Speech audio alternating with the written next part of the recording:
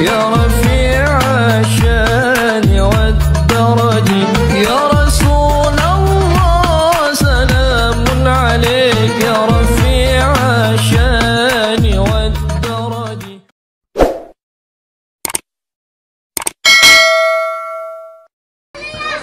السلام عليكم ورحمة الله وبركاته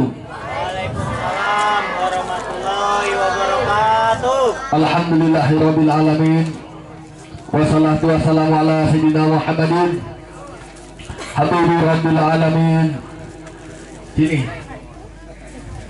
Imamil muttaqin Sayyidina wa nabiyina wa Muhammadin sallallahu alaihi wa ala alihi wa sahbihi ajma'in amma ba'du.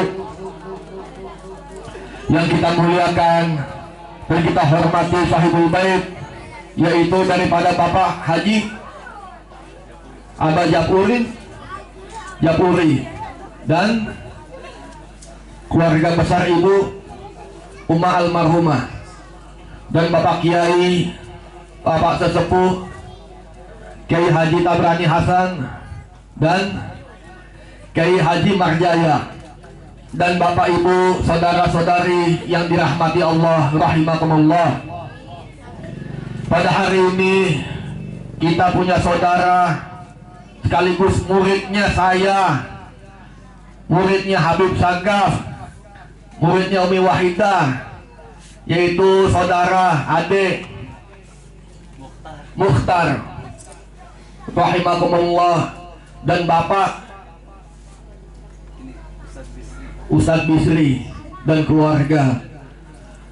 Pada hari ini beliau mengundang saya jauh-jauh dari Parung Bogor ke sini untuk menghadiri yaitu daripada 100 hari daripada keluarga beliau. Saya datang jauh-jauh saya nggak lihat tempatnya jelek nggak lihat jamaahnya sedikit. Yang penting saya datang karena beliau adalah muridnya kita semua muridnya Habib Sagaf muridnya saya. Saya bela-belain datang. Betul saya kalau datang kalau ini bukan murid saya nggak mau datang. Ngapain? Iya.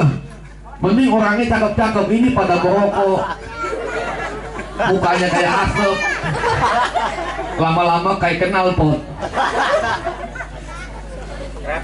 ini saudara kita sedang datang di mana beliau masih di 10 hari masih di 100 hari masih ada beliau keluarga beliau ini masih ada yang sudah meninggal karena di mana diperingatin, di mana dibacakan tahlil, di mana dibacakan zikir, di mana dibacakan Al-Qur'an, di mana dibacakan tahmid, hadir itu orang yang meninggal. Karena orang yang meninggal itu butuh doanya kita yang masih hidup. Karena orang yang meninggal butuh rizkinya, pahalanya yaitu dengan mengucapkan zikir, tahlil, tahmid Al-Quran itu pahala dan rizkinya orang-orang yang meninggal. Orang-orang yang meninggal itu masih butuh makan, masih butuh minum. Makan dan minumnya dengan apa? Dengan doa, dengan doa saudara-saudaranya, anak-anaknya, bapak ibunya, keluarga besarnya, serta sanak saudaranya yang mendoakan beliau. Makanya beliau mendapatkan pahala dan di sisi Allah Subhanahu wa taala menjadi mulia. Barokah doa-doa, yaitu salah satunya doa-doa daripada anaknya yang soleh dan soleha. Ini kameranya ke sini aja, jangan ke mana-mana ya. Soalnya di situ ada bocah tuh parah banget. Baru sunat. Inilah keadaan di kampung. Ya. Aduh, ya Allah jauhkan bala, jauhkan musibah, panjangkanlah umur kami, luaskanlah rezeki kami, berikanlah kami kebahagiaan, keselamatan di dunia dan di akhirat. Jadikanlah keluarga-keluarga kami orang-orang yang dirahmati dan dihormati dan disayangi oleh Allah dan Rasulullah. Serta diberikan keselamatan jasmani dan rohani badannya serta kemuliaan kehidupannya. Amin ya rabbal alamin. Ketika orang yang sudah mati di sini saya yakin belum ada yang merasakan mati. Betul ya pasti nggak ada yang mau mati. Di dunia ini nggak ada orang yang mau mati. Tetapi kalau orang yang soleh orang yang ibadah orang yang alim mau mati kayak mau hidup dia bahagia di mana pun dia berada. Karena hatinya sudah cinta sama Allah sudah cinta sama Rasulullah. Jadi hidupnya manis terus nggak ada pahit-pahitnya Kalau di sini saya yakin masih ada yang rasa pahit hidupnya, manis, manis pahit masih ada. Tetapi jangan susah, la takhaf wa la tahzan. Innallaha ma'ana. Siapa yang cinta sama Allah? Siapa yang cinta sama Allah di sini? Siapa yang cinta sama Rasulullah? Itu Allah berikan kebahagiaan di dalam hatinya. Kalau dia miskin, dia tetap bahagia dan dia bersyukur. Kalau dia kaya, dia juga bersyukur. Dia juga dia bahagia. Semua ditaruh di dalam hati. Mau miskin, mau susah, tergantung daripada kesyukuran dan bersyukurnya. Semakin bersyukur manusia kepada Allah, Allah luaskan rezekinya, Allah panjangkan umurnya, Allah berikan kebahagiaan di dalam kehidupannya. Ada satu cerita, seorang yang kaya, seorang yang kaya di zaman Nabi Idris alaihissalam beliau ini kaya daripada perkebunan pertanian. Kaya karena menanam buah-buahan sayur-sayuran makmur. Yaitu salah satu daripada muridnya Nabi Idris alaihi salam. Beliau orang yang begitu kaya. Sampai kayanya sampai lupa akhirnya beribadah. Sampai lupa dia kepada Allah. Sampai dia meninggal pun tidak tahu oh sudah meninggal saya ini. Saking sibuknya sama urusan dunia. Maka dari itu dunia janganlah dibikin repot. Jangan dibikin susah. Al harakatul barakah selama masih berjalan di atas bumi Allah di situ banyak rizkinya. Selama masih bergerak di atas bumi Allah situ banyak rizkinya jangankan manusia laba-laba pun yang diam di pojokan Allah masih beri makan. Bagaimana dengan manusia? Jangan gara-gara eh, repot dengan urusan dunia kita lupa kepada Allah. Di sini sudah pada sholat belum? Ada yang sholat ada yang enggak. Apa butuh disolatin? Jangan tinggal sholat karena sholat itu adalah tiangnya agama. Karena sholat itu agar manusia itu tidak sombong kepada Allah. Tidak sombong kepada Tuhan. Sabih Allah rabbikal a'la alladhi khalaqa fasawah Walladhi qaddara fahada Walladhi ahwajal mar'ah Faja'alahu husa'an akhwa sanukarika falatansa Illa masya Allah berikan kemuliaan kepada manusia supaya manusia itu pandai-pandailah bersyukur kepada Allah. Mau dia miskin, mau dia kaya, mau dia hebat, mau dia tidak hebat yang penting bersyukur. Karena orang yang bersyukur kepada Allah adalah orang yang paling mulia hidupnya di sisi Allah. Kalau miskin di dunia tetapi dia bersyukur dan dia selalu beribadah tidak apa-apa. Mungkin di dunianya kurang beruntung tetapi di surga nanti Allah berikan keberuntungan. Ya di sini kita lihat ibu-ibu sudah datang bapak-bapak. Ini saudara-saudara ini sudah datang. Terima kasih banyak sudah mau hadir di acara ini. Karena bagaimanapun beliau ini keluarga kita juga. Ini murid ini Kang Adi ini. Kalau ada murid saya undang saya walaupun di pelosok dunia di ujungnya dunia saya akan datang. Betul karena beliau ini sampai surga akan bersama kita.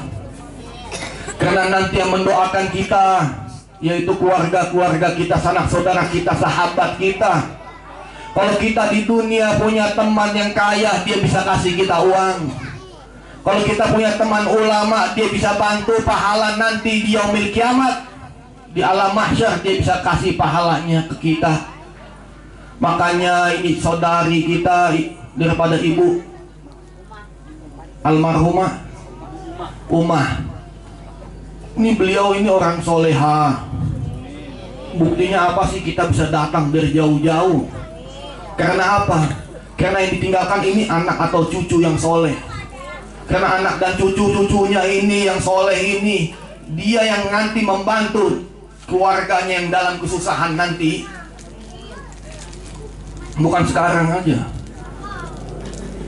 jadi terima kasih Bang Adi sama Bapak ini keluarga semua sudah mengundang saya jauh-jauh. Beliau sebenarnya nggak mau, nggak enak. Ini ngundang begini nggak enak. Dia tahu ini tempatnya apa adanya, bukan ada apanya, nggak ada apa-apanya. Cuman ada kue sempul sama air putih. Tapi yang bukan itu yang kita cari. Yang kita cari apa sih? Apa? Bukan.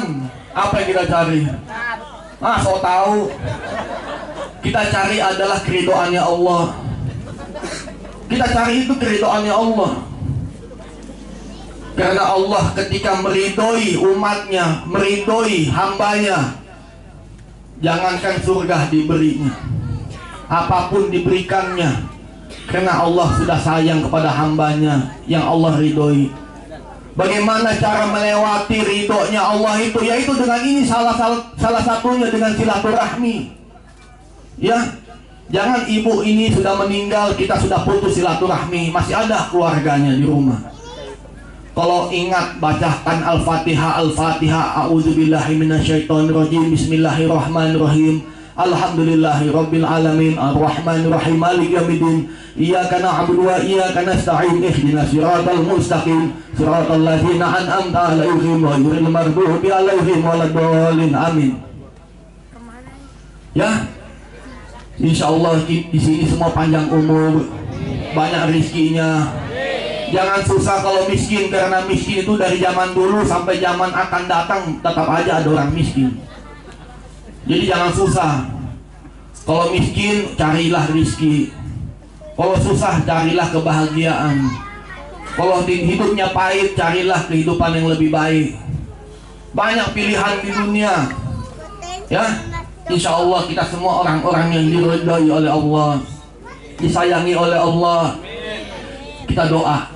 Bismillahirrahmanirrahim. Alhamdulillahirabbil alamin. Wabil husran ilah. Umah, ibu Umah. Binti Uhtan Bibarakati syafaati Rasulillah Islina Muhammadin Sallallahu alaihi wasallam. Bibarakati Nabi Muhammad Sallallahu alaihi wasallam. Bijiwari Nabi Kal Muhammadin Sallallahu alaihi wasallam. Al-Fatihah A'udzu billahi minasyaitonir rajim. Bismillahirrahmanirrahim. Alhamdulillahi rabbil alamin الرحمن الرحيم. مالك يوم الدين. إياك نعبد وإياك نستعين. اهدنا صراط المستقيم. صراط الذين أنعمت عليهم. غير المغضوب عليهم ولا الضالين. آمين. يا الله يا رحمن يا رحيم يا ودود يا أسأل المغفرة. ببركة رسول الله سيدنا محمد صلى الله عليه وسلم.